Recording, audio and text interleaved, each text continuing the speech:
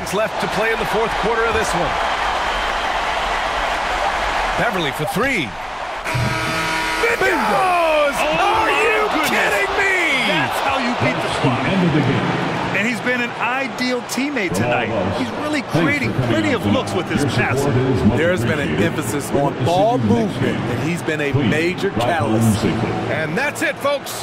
The Chicago Bulls have won it all. Wow.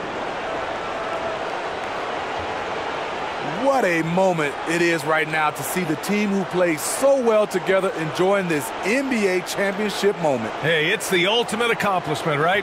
This team has leaned on its solidarity all year, Grant. You know, B.A., when guys want to play for